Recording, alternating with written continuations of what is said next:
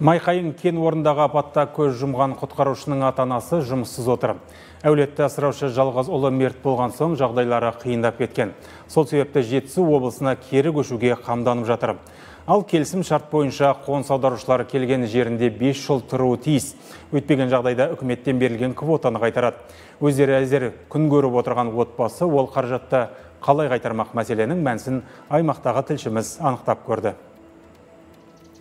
Сарқыт Қазанғаптың отбасы өткен жазда Жетісу өңірінен көшіп келіп, Майқайын кентіне тұрақтады.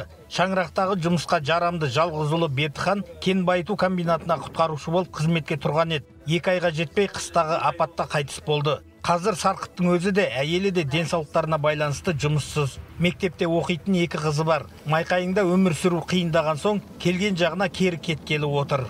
туыс туғанымыз бар ол жерде жаңағы қыз күйеуіміз бар содар енді қарайласады қисайса басымыз сөйтіп көмектеседі содарға жақындайық. Бала енді қалған баладарын басын бір жерге қосайын деп отыр. Енді сол мен ұлдың артынан қуып келгем жалғыз ұл өлді.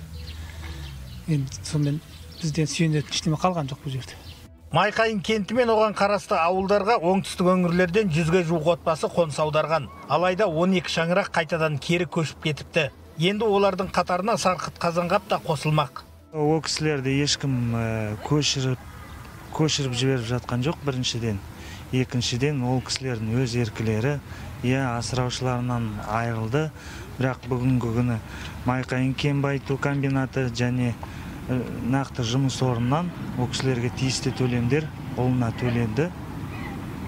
Сондықтан енді ол кісілерге ешкім көш деп жатқан жоқ. Мемлекеттік бағдарламамен қоныс аударушылар келісім шарт бойынша келген жерінде кем дегенде 5 жыл тұруы тиіс. Өйтпеген жағдайда үкіметтен берілген квотамен көмек ақшаны қайтаруға міндетті. Былтыр 8 миллион теңгеге алған баспанасын жарты бағасына да сата алмай отыр. Ол қарастырылуда. Ол мәселе алдыңғы сол апат болғаннан кейін осыншама уақыт өтті ғой бұл кісілер жүгінді. Біздің баянауыл ауданның әкімдігіне масап орталығына бұл жағдайда қандай шешім табуға болады деген. Енді бұл басшыларымыз қазір енді шешетін болады. Қандай шешім қабылданатынын бұл кісілерге жеке хабарландыру береміз әрине. Барынша көмектесуге тырысамыз. 2023 жылы Павлодар облысына оңтүстік өңірлерден 900-ге жуық отбасы қоныс аударды. Адам саны 3352. Оның 234-і келген жағына көшіп кеткен. Көп жағдайда кері көшуге жерсінбеу және жайлы жұмыс таппай сенделу себеп болады екен. Есенбек Санатұлы Қайрат Алпысбаев, Атамекен бизнес, Павлодар облысы.